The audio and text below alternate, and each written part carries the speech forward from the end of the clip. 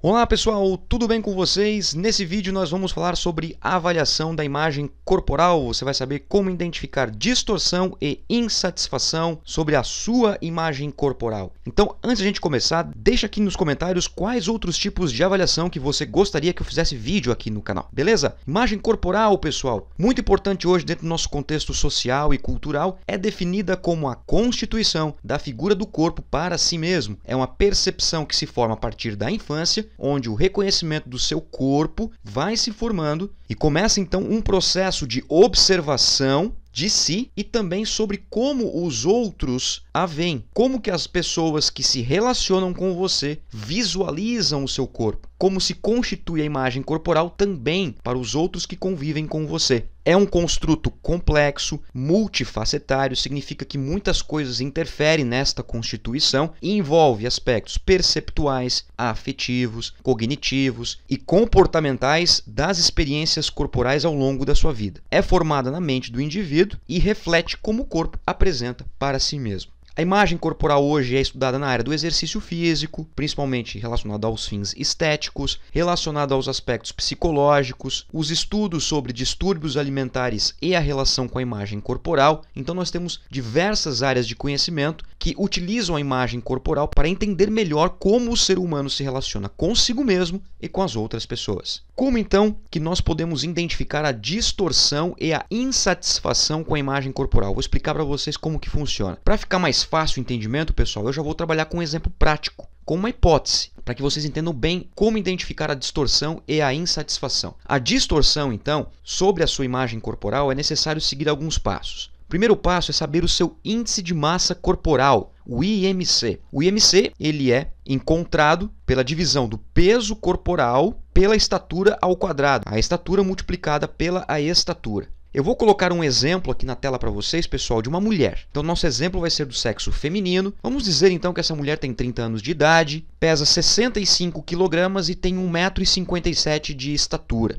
Ao resolver esse cálculo, chegamos a um IMC de 26,37 kg por metro quadrado. Pela Organização Mundial da Saúde, esse IMC é sobrepeso. Esse IMC vai ser importante para os aspectos de distorção da imagem corporal. Esse é o primeiro passo. E agora, então, a gente vai trabalhar com esse exemplo para entender bem a distorção da imagem corporal. Só que o seguinte, pessoal, existe uma escala de silhuetas que foi construído e validado na literatura brasileira que são utilizadas para identificar o perfil corporal o tamanho do corpo de homens e mulheres. Essa que você está vendo na tela agora é uma representação bidimensional do corpo feminino. Então, por meio desse instrumento, nós fazemos duas perguntas para a mulher: qual figura representa ser o seu corpo atual e qual figura representa ser o seu corpo desejado? Se você é mulher, olhe para essas imagens e vai escolher uma imagem de 1 a número 15. Qual representa o seu corpo atual e qual representa o seu corpo desejado? Escolha a figura para as duas perguntas que achar mais condizente com a sua realidade agora. Vamos imaginar que a nossa avaliada no exemplo de 30 anos de idade, que pesa 65 kg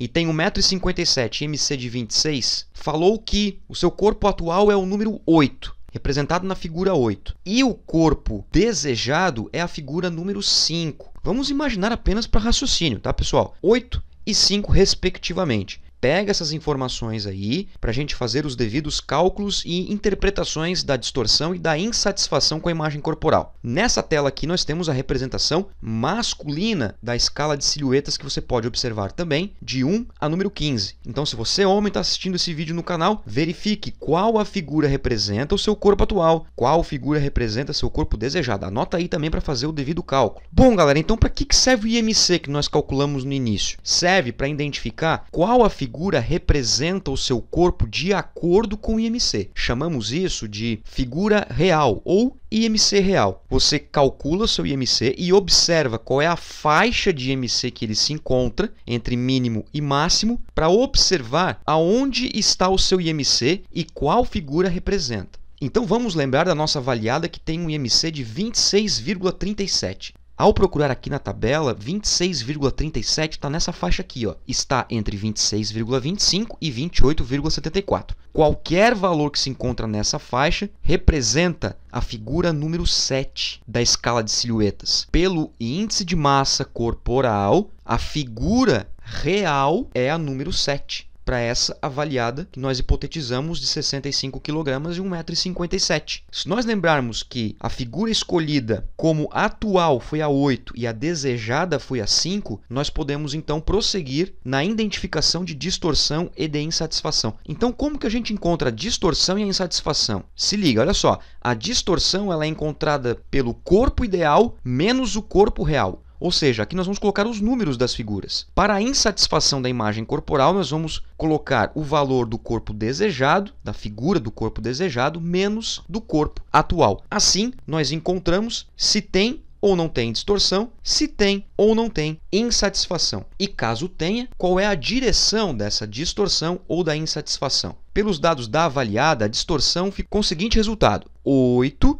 que foi a figura que hipoteticamente escolhida como atual é 8 e 7 é a figura real identificada pelo IMC. Ao fazer essa diminuição, nós encontramos o valor de 1. Significa que existe uma distorção positiva, porque o valor é maior que zero. Nesse caso, a nossa avaliada ela está se vendo maior do que ela realmente é pelo índice de massa corporal. Agora, para insatisfação da imagem corporal, nós vamos pegar a figura desejada, o corpo desejado, que foi número 5, na nossa hipótese, no nosso exemplo, menos o corpo atual, ou seja, como que a avaliada se viu, que foi 8 no nosso exemplo. Ao fazer essa subtração, nós vamos encontrar um valor de menos 3. 3 negativo. Então, existe uma insatisfação com a imagem corporal que ela é negativa. Significa dizer, então, que essa avaliada tem uma insatisfação porque ela está se vendo maior do que ela gostaria de ser. Então você já percebeu que pode também ter a distorção negativa e a insatisfação positiva. Quando nós temos a distorção negativa, a pessoa ela está se vendo menor do que ela realmente é pelo índice de massa corporal. E a insatisfação, quando for positiva, a pessoa ela está insatisfeita